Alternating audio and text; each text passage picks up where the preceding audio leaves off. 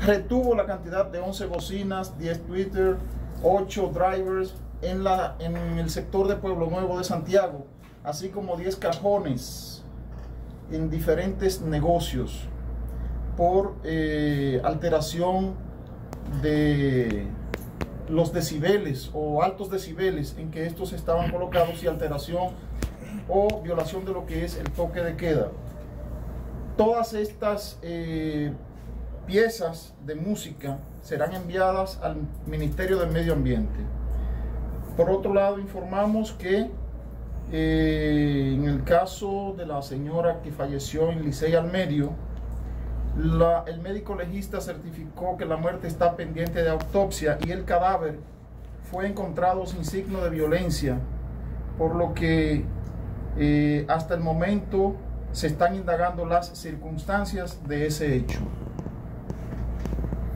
¿Qué ha pasado con el hijo de esa señora entonces, que en principio se señaló como acusado de, matarla y propinarle golpe incluso? Evidentemente que luego de un hecho en donde hay una persona que pierde la vida por la circunstancia o razón que sea, sencillamente se cuestiona en el departamento de homicidio porque como quiera que sea se inicia una investigación.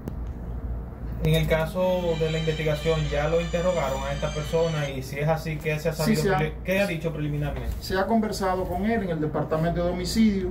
Eh, no se ha determinado que fuera él el autor de ese hecho, porque hasta el momento la muerte está pendiente de necropsia o de autopsia. Y próximamente, cuando salgan los resultados, entonces se darán a conocer a la opinión pública a través de los medios de comunicación. Pero en las declaraciones, eh, parte del interrogatorio, o sea, no se puede difundir de lo que él ha dicho, porque hay personas que alegan que él tenía un comportamiento violento, agresivo anteriormente. Bueno, esa es una opinión de quienes de quienes dan la versión, pero hasta el momento no se ha determinado que él haya sido el autor de, la muerte de la señora, porque como le dije, está todavía pendiente de necropsia, de autopsia, eh, el deceso de ella.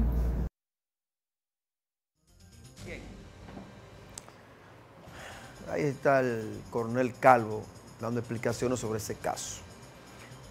Saludo para Ana Felicia Gutiérrez, quien es la madre de Chicho La Pava, que no se pierde el programa con nombre y apellido ahí en el sector de Pueblo Nuevo.